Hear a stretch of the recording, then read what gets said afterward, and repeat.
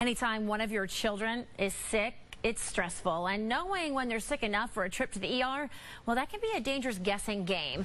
Six News anchor Lori Tucker has much more in tonight's Caring for Our Kids. Lori? Well, Kristen, experts at Children's Hospital say there are seven signs you should never ignore when it comes to your child's health. Joining us now from Children's Hospital Emergency Department is Dr. Katie Stordahl.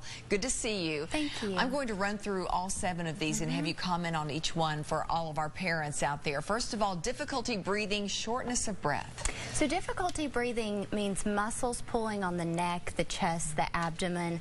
If your child is gasping for breath, turns blue, or stops breathing for more than 15 seconds, that means you should call 911. Mm -hmm. But if they're just working hard to breathe, you should call your doctor or think about coming into the ER. Okay, what about change in, in mental status? Their behavior totally changes. Right. When we see this, we always worry about ingestions of some sort with a poison mm -hmm. or a medication. We worry about meningitis. We worry about other types of infections and tumors, but it can be something as simple as they have a high fever.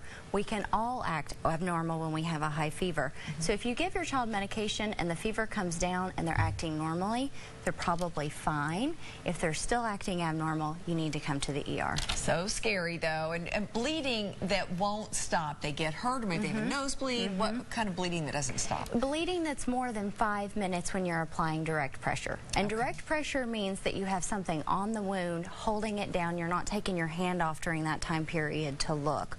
Or if it stops bleeding and then starts bleeding again a few minutes later, that can be concerning that something's wrong with the blood or that the wound is very deep. So hold that pressure five minutes without mm -hmm. stopping. Okay, good to know. Also, stiff neck and fever. You kind of touched on this, but let's um, go back to that for a moment. Right, and a lot of times people will come in worried with stiff neck and it's something as simple as their child slept the wrong way, or they've got a swollen lymph node, or they've got strep throat or sore throat from a virus. Mm -hmm. But if it's truly a stiff neck where they're not wanting to move their head and they've got a fever, that's always concerning for a deep throat infection or for meningitis. What about rapid heartbeat? And, and you know, parents can sometimes tell when mm -hmm. it's mm-hmm. really fluttering. Mm -hmm. What, what is that a sign of?